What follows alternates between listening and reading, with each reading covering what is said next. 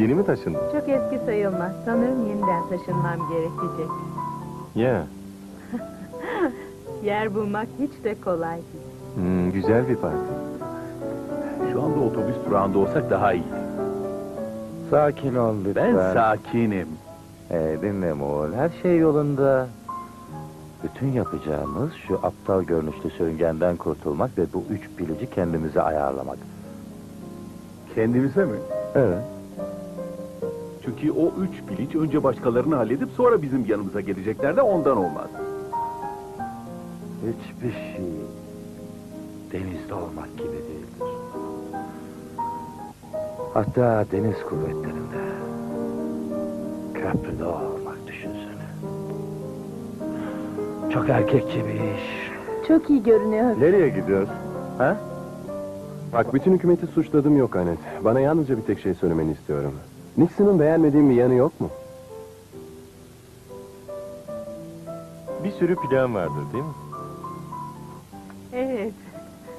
Çoğunu parasız aldım. Bir işte çalışıyorum. Ne için?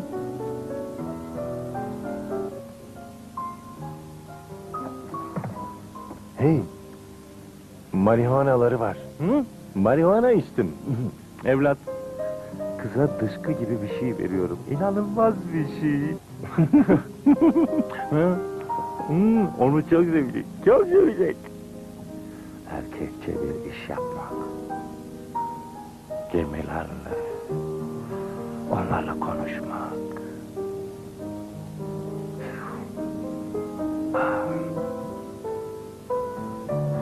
Millerce yol, millerce.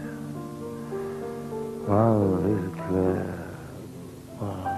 işte. Ah. Of çok iyi. Neden daha fazla siyah görevli yok?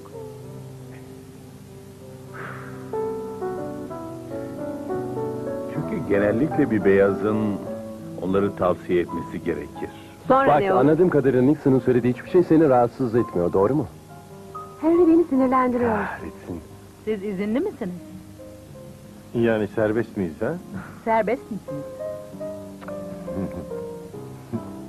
Hayır.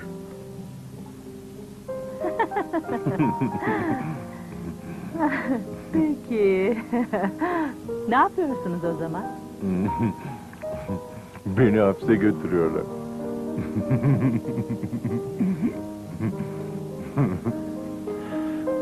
Ben neler gördüm. Şu anda sana anlatmayı istemiyorum. Çünkü düşünemeyeceğin şeyler gördüm bebeğim ben. Senin için ne olduğunu görebiliyorum. Öyle mi? Öyle demek ha. Üniformadan olmalı. Ama yakışıyor değil mi? Yakışıyor bana. Aha, evet. Bunlarda neyi sevdiğimi biliyor musun? Bu üniformanın en sevdiğim taraflarından biri insanı zeki göstermesi. He? Vietnam'a gitmek konusunda ne düşünüyorsun?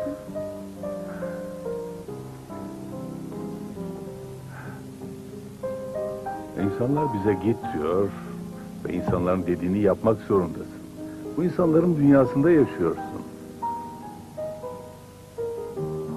wow. Sekiz yıl. Hmm. İkisi silinecek. Yalnızca altı yıl. Neden kaçmıyorsun?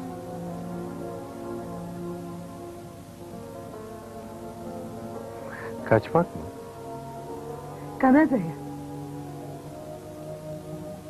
Ah bir arkadaşım var. George Lucido. Benim eğitmenimdi. Toronto'da bir grubun şefidir. Sana numarasını vereceğim.